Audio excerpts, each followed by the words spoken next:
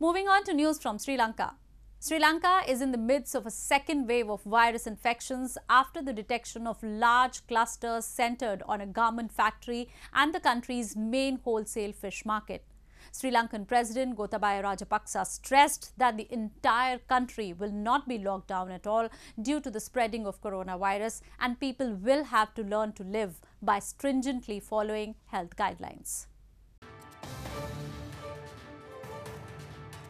Sri Lankan President Gotabaya Rajapaksa on Wednesday said it was both impractical and difficult to close down the country until a cure for COVID-19 is found and therefore the public should be ready to return to normal lives while following health guidelines. Speaking at a discussion held Wednesday regarding the control of the COVID 19 virus in the country, he emphasized that it is important to keep the country open as well as to control the spread of COVID 19 virus in the country.